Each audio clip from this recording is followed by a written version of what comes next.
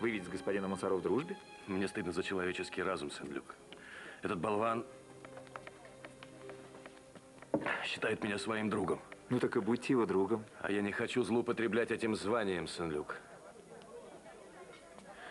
Извините, господа, может быть, вам будет удобно в другом помещении? Благодарю. Мы ни в чем не нуждаемся. Да. Извините. Давайте рассуждать логически. Давайте.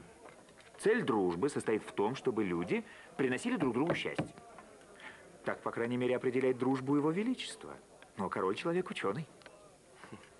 Мансаро делает вас несчастным. А если Мансаро делает вас несчастным, значит, он вам не друг, значит, вы не друзья. Следовательно, вы можете относиться к нему либо снисходительно и просто отобрать у него жену, либо враждебно и убить его еще раз, если одного раза ему недостаточно. У вас превосходная логика, Сен-Люк. Спасибо. Ну и что же мне делать? Да идти немедленно с визитом. Графа де Монсоро? Да, оставьте вы его в покое, этого Мансаро, к Диане. Так они не расстаются, Сен-Люк. Да? А когда вы навещали госпожу де Барбезье, разве вы обращали внимание на ее большую обезьяну, которая кусала вас постоянно из чувства ревности?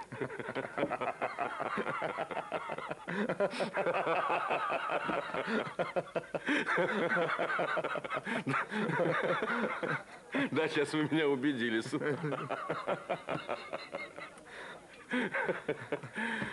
Ну что ж.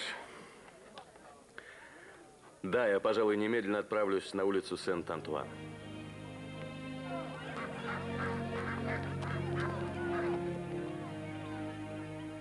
Сегодня утром, милый граф, ваш Реми пообещал мне, что не пройдет и трех недель, как моя рана совершенно затянется, и я смогу даже приступить к выполнению обязанностей главного ловчего. А я верю его обещаниям, потому что уже имел возможность убедиться в том, что он отлично знает свое дело. Будем надеяться, что обещание Реми сбудется. Дело в том, что королю действительно в очень скором времени понадобятся ваши услуги. Надеюсь. Дорогой граф. Да, кстати, герцог Анжуйский уже в Париже. Да-да, и через некоторое время он хотел вас навестить. Как в Париже? А как же война, осада Анжера? Война? Война уже закончилась, граф. Теперь готовьтесь к охотам, балам, представлениям комедиантов. А, так значит, вы явились в столицу посланником мира, господин Дебюсси? Да, его высочество герцог Анжуйский оказал мне великую честь этим поручением. Представляю, как был обрадован король своим перемирием с братом. Я надеюсь, вас любезно приняли при дворе. Король осыпал вас своими милостями, вниманием, не так ли? Да уж, король встретил меня с надутой миной, а стая миньонов проводила меня с ужасно кислыми фитянами. Нет, я не понимаю, какого дьявола они добивались этого мира, если весть о нем их так расстроила? Но я думаю, что у принца Анжуйского, кроме изъявлений братской любви в Париже, есть еще какие-то намерения, не так ли? Должно быть. Не компрометируйте себя близкими отношениями с этим человеком. Я его знаю. Он весьма вероломен и не остановится ни перед чем, даже перед изменой для достижения своей цели. К сожалению, я это очень хорошо сознаю. Вы мой друг, господин Дебюсси. И я считаю долгом своей чести предостеречь вас. Подумать только. Принц, который был всегда так любезен со мной, так внимателен ко мне. Мой смертельный враг. Ведь это он приказал Сен-Люку убить меня. Извините, что? Да, да, это именно так. Вы ошибаетесь, граф. Сен-Люк человек чести. И потом, простите, но вы сами сказали, что вы дали повод. Вы первым вынули шпагу, и вы получили этот злосчастный удар в честном поединке. Да, я не отрекаюсь от этого. Но я убежден в том, что Сен-Люк действовал по подстрекательству герцога Анжуйского. Поверьте мне, граф, я очень хорошо знаю герцога Анжуйского. Но самое главное, что я знаю господина де Сен-Люка. И прошу мне поверить, что Сен-Люк всецело искренне предан королю, а отнюдь не герцогу Анжуйскому.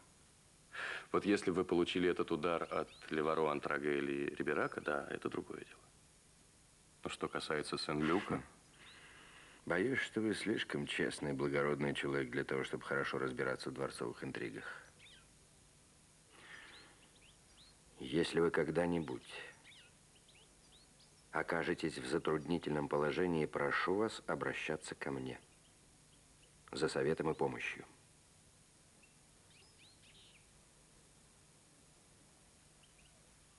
Я благодарю вас.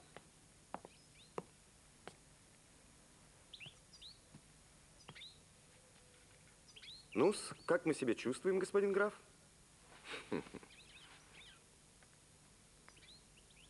Да вы утомлены? Нельзя так бессмысленно расходовать свои силы. Я требую, чтобы вы немедленно легли в постель.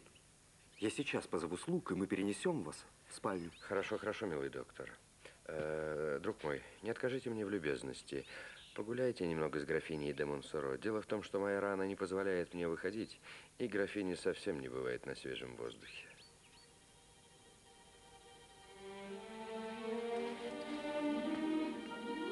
Но если вы настаиваете, я повинуюсь, граф.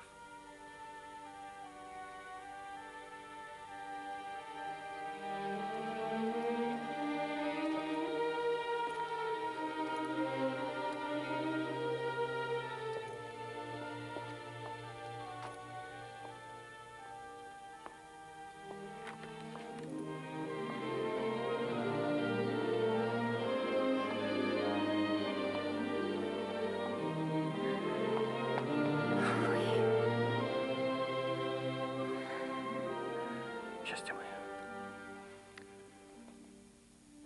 Прости, но я больше никогда не переступлю порог этого дома. Я не могу так отвратительно лгать. Какая ложь? О чем ты говоришь? У меня есть только ты. Ты мой Бог. Я выдержу все. Только бы видеть тебя. Пойдем. Пойдем.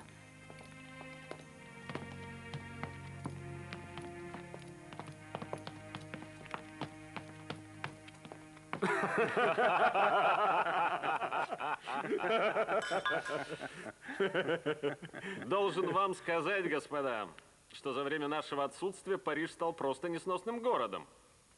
Пока я добрался до дворца нашего дорогого герцога, мне пришлось несколько раз хвататься за шпагу, чтобы внушить кое-кому правила хорошего тона. Кому, друг мой? Хамам, которые позволили с удивлением глазеть на меня. М, Дантраге, ну это же всего-навсего куча дурачья. А дурным манерам их обучили эти королевские миньоны. Ты помнишь, как они носились по Парижу, вопя на каждом